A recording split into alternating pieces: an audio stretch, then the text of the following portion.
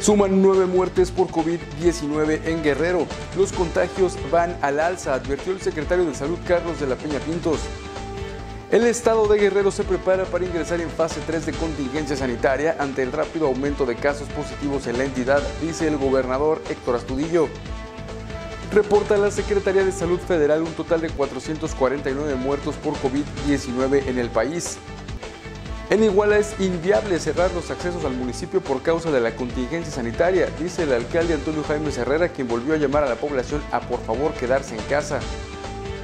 Pide dirigencia nacional del PRI no politizar la emergencia sanitaria, rechaza someter al presidente López Obrador a revocación de mandato en tiempos de contingencias. Estas son las noticias de hoy jueves 16 de abril del 2020. Con esto y más yo te espero en esta nueva edición de Diario 21 Televisión. Arrancamos. En tanto que el número de muertos por coronavirus COVID-19 se incrementó a 9, el contagio de personas infectadas por ese mismo patógeno aumentó en casi un 100% durante los últimos 5 días en Guerrero, al pasar de 54 a 97 casos acompañado por el gobernador Héctor Astudillo Flores y el titular de la Administración y Finanzas, Tulio Samuel Pérez Calvo, el secretario de Salud Carlos de la Peña Pintos dijo que del 15 de marzo, cuando se registró el primer caso de COVID-19 en la entidad, al 9 de abril, se contabilizaban 49 casos. Sin embargo, del 10 al 15 de abril 48 casos más, es decir, hubo un crecimiento exponencial del 97%. Durante el corte informativo del mediodía de este miércoles, el cual se transmitió en vivo a través de la cuenta oficial de Facebook del gobernador Héctor Astudillo, de la Peña reportó 97 casos confirmados de coronavirus en 15 municipios de la entidad y de acuerdo a la información de la Secretaría de Salud Estatal, se detalla que Acapulco concentra la mayor cantidad de personas infectadas con 52, seguido de Chilpancingo donde 23 personas dieron positivo a la enfermedad, 4 están en Tasco, 3 en Iguala y 3 en Coyuca de Benítez. Los municipios con dos casos registrados son Guamuxtitlán y Aguacotzingo, mientras que Cocula, Tenango del Río, Tlapa, Xochistla, Huehuetlán, Tixla, Chilapa, Quechultenango y San Marcos tienen un caso confirmado.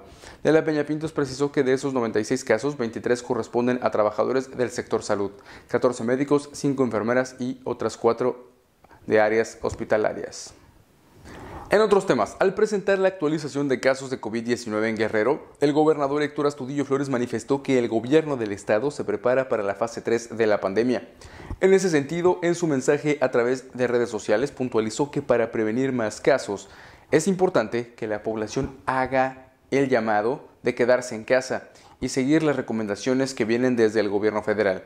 Asimismo, instruyó al secretario de Salud Carlos de la Peña y al de Finanzas Tulio Samuel Pérez Calvo a atender las necesidades de insumos y material para personal de los hospitales.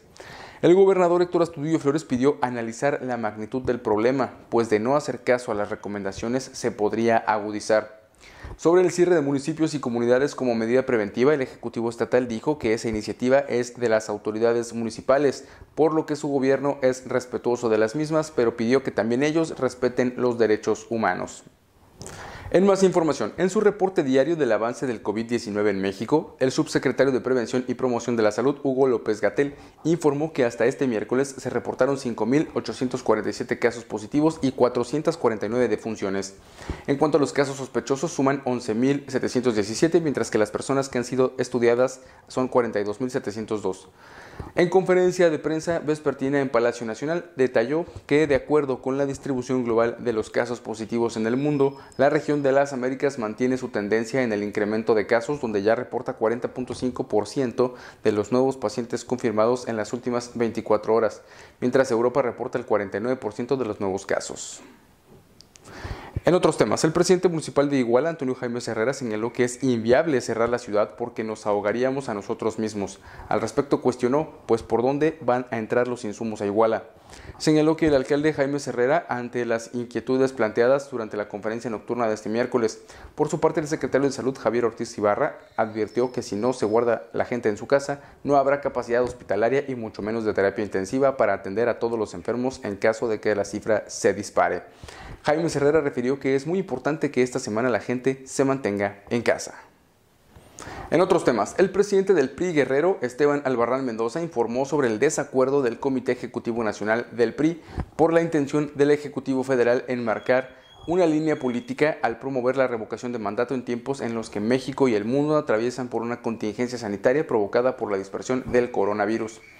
Albarrán Mendoza señaló que fue a través de un comunicado en que el presidente nacional del PRI, Alejandro Moreno Cárdenas, aseguró que el debate urgente que se necesita es para encontrar una política sanitaria y económica eficiente que no ponga en riesgo el presente y futuro del país, ya que la propagación de, de esta pandemia ha colocado en aprietos a las autoridades federales que no han tomado las decisiones adecuadas para contener el virus. Regresamos con más noticias después de esta pausa comercial. Conéctate y logra tus propósitos. En postventa Nissan implementamos medidas de prevención ante la contingencia para preservar la garantía de tu vehículo. Ponemos a tu disposición nuestros números de oficina, WhatsApp y plataformas digitales para refacciones y servicio. Si tu Nissan necesita mantenimiento, lo recogemos y lo entregamos a domicilio. Nosotros te enviaremos un presupuesto y evidencia a tu celular del proceso que llevamos. Solo es cuestión de que nos contactes y hacemos la cita. Las áreas se encuentran sanitizadas, ordenadas y con limpieza constante para cuidar tu vehículo de partículas. Le colocamos protección reemplazamos el filtro de aire acondicionado y sanitación con limpieza de interiores. Desde la comodidad de tu hogar puedes realizar el pago por transferencia interbancaria o en línea. Si consideras necesario visitarnos, te daremos la bienvenida con gel antibacterial y poniendo en práctica la sana distancia. Con Nissan, separados, pero conectados logras tus propósitos. Nissan Innovation that excites. En más información, el presidente municipal de Iguala, Antonio Jaimes Herrera, y el jefe de la Jurisdicción Sanitaria 02 Norte, Felipe Gaspar Aguilar, encabezaron la mañana de este miércoles las acciones de contención y sanitización en la colonia El Derrame, donde habitaba la paciente que falleció en el Hospital General Jorge Soberano Acevedo a consecuencia de coronavirus. Las acciones en las que participaron las direcciones de salud, alumbrado público, parques y jardines, tránsito, seguridad pública, comprenden una investigación sanitaria realizada por personal de la jurisdicción sanitaria para conocer qué tanto pudo haberse esparcido el virus para determinar si pudiera haber más enfermos. El alcalde Jaime Herrera señaló que entre las medidas inmediatas que se tomaron es que los familiares permanezcan en sus casas y en cuarentena, además de que se aislara de manera parcial la colonia, cerrando algunos accesos a la misma y dejando solo abierto aquel donde hay una menor concentración poblacional. En otros temas, la Administración Municipal de Antonio Jaimes Herrera clausuró 15 establecimientos comerciales e infraccionó a 30 más por haber incumplido con las disposiciones de prevención sanitaria que se establecieron como medida para frenar los contagios de coronavirus. Lo anterior lo informó el director de reglamentos, licencias, espectáculos, Vicente Bandera Román, quien aseguró que en los operativos del fin de semana clausuraron un gimnasio, 10 restaurantes y 4 misceláneas que violentaron las disposiciones sanitarias y los riesgos de contagio por coronavirus. Explicó que además de las 15 clausuras infraccionaron otros 30 establecimientos, los cuales tendrán que pagar sanciones administrativas que van desde los 280 pesos hasta arriba de los 2.000 o 3.000 pesos, incluso la revocación de la licencia. A partir de este miércoles, en otros temas, personal de la Guardia Nacional fueron desplegados para el resguardo de hospitales del Instituto Mexicano del Seguro Social con la finalidad de brindar seguridad a instalaciones, personal médico e insumos para garantizar el servicio a los ciudadanos que lo requieran en esta contingencia sanitaria. Así lo informó la propia Secretaría de Seguridad Pública. La institución policial señaló que los agentes federales fueron desplegados en 84 unidades médicas que se localizan en Baja California, Chihuahua, Ciudad de México, Coahuila, Estado de México, Guerrero, Jalisco, Michoacán, Morelos, Nuevo León, Puebla, Querétaro, Quintana Roo, San Luis Potosí, Tamaulipas, Tlaxcala, Veracruz, Yucatán y Zacatecas. En otros temas, en respuesta al reclamo del personal de hospitales de Guerrero que demanda la dotación de insumos necesarios para su mejor desempeño, sin dejar de proteger la salud de médicos y enfermeras que luchan en la primera línea contra la pandemia del COVID-19, un grupo de diputadas y diputados de Morena inició una primera entrega consistente en 1.350 mascarillas N95, 2.296 overoles especiales impermeables, cajas acrílicas de intubación, cubrebocas, tricapa, gel antibacterial, jabón líquido y guantes protectores que los legisladores entregarán en hospitales y clínicas de las distintas regiones del Estado. Participan en esta iniciativa las y los diputados Jesús Villanueva Vega, Luis Enrique Ríos Saucedo, Norma Otilia Hernández Martínez, Mariana García Guillén, Nilsan Hilario Mendoza, Moisés Reyes Sandoval, Blanca Selena Armenta Pisa, Perla Xochitl García Silva, Yoloxin Domínguez Serna, Marco Antonio Cavada, Arturo Martínez Núñez y Carlos Cruz López. Regresamos con más información después de esta nueva pausa comercial. Ven a El Tasqueño y prueba nuestras especialidades a la carta. Deleítate con nuestras enchiladas de mole poblano. Atrévete a probar nuestros cortes y arracheras. Ponte fit con nuestras ensaladas primavera o date un gusto con nuestra carta de postres. Compruébalo, te vas a sorprender. Y si te gusta lo tradicional, ya lo sabes, somos expertos en barbacoa. En otros temas, con la finalidad de que los apoyos lleguen directamente a las personas que más lo necesitan. Dentro del plan emergente COVID-19, el presidente municipal de Tasco, Marcos Efraín Parra Gómez, visitó el comedor Habitat, ubicado en el Centro de Desarrollo Comunitario Montaña de Plata, mismo que se creó en la parte alta del municipio ofreciendo más de 250 comidas diarias. A través de la Secretaría de Planeación, Desarrollo Municipal y Obras Públicas, Marcos Parra dio a conocer que con la creación de diferentes acciones por parte de su gobierno, se está asistiendo a la población con la entrega de despensas y la instalación de comedores comunitarios. Parra Gómez agradeció la respuesta de la población para asistir a la convocatoria de esta ayuda. En otros temas, ante la emergencia sanitaria, uno de los sectores más afectados en su economía es el transporte público, en el que entre un 25 y 30% de choferes han dejado de trabajar o están fuera de servicio. Por la escasez de pasaje, informó el encargado de la Delegación de Transportes en la región norte, Naum Rebolledo Torres. Asimismo, comentó que continúan con las supervisiones y recomendaciones a los trabajadores del volante para evitar la propagación del COVID-19, además de las brigadas de sanidad y prevención con el programa Cúbrete la Boca, que consiste en el uso obligatorio de cubrebocas. En más noticias, la presidenta municipal de Buenavista de Cuellar, Ana Lilia Botello Figueroa, en compañía del síndico procurador, el regidor de salud y personal del centro de salud, agradecen el espacio de la radio comunitaria de ese municipio a través de Alfonso Albavera para reforzar entre la población las medidas preventivas en contra del COVID-19, así como informar de las acciones que se están llevando a cabo para prevenir contagios. Los ediles agradecieron el apoyo brindado de ese medio de comunicación para llegar a más personas. Mientras tanto, el presidente municipal de Tepecoacuilco, Ignacio Campos Zabaleta, acudió a la comunidad de Santa Cruz, acompañado del equipo de protección civil municipal, donde supervisó las tareas de sanitización en el centro de salud, con la presencia del comisario municipal Rosendo Juárez Díaz. También se hizo la misma actividad en el centro de salud de la cabecera municipal.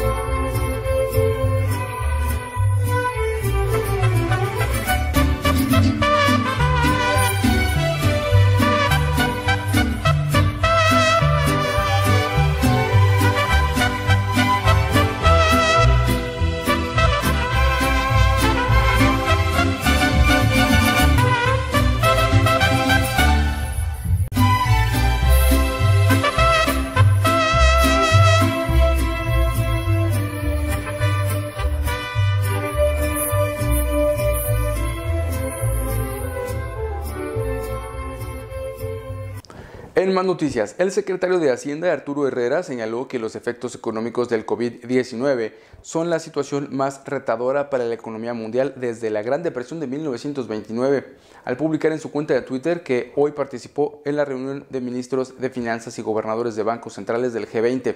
Aseguró que los países miembros acordaron poner todos los recursos necesarios para luchar contra la pandemia y así salvar vidas expuso que utilizarán todos los instrumentos de política fiscal y monetaria disponibles para luchar contra los efectos económicos del confinamiento global y explicó que en este fenómeno se da una evolución. En México dijo, aún no llegamos a la fase 3, que será el momento más crítico, por lo que requeriremos instrumentos y medidas flexibles para adaptarnos a nuevas situaciones, añadió el funcionario en la red social.